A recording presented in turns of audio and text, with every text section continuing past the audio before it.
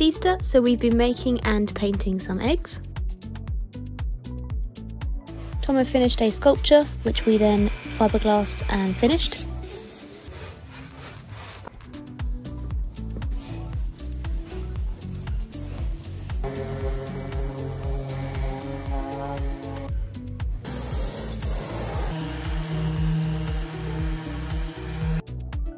We started work on a jail which will be used for a stage show on a cruise ship and finished the gold bottles that we started last week which are also for the same production.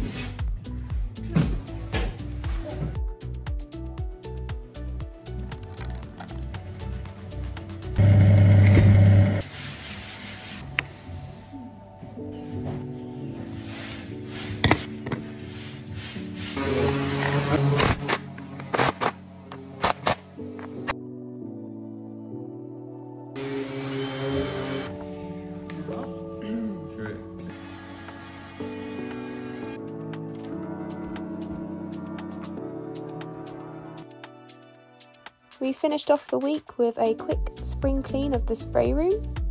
We are redoing the sticky walls, which help to prevent dust.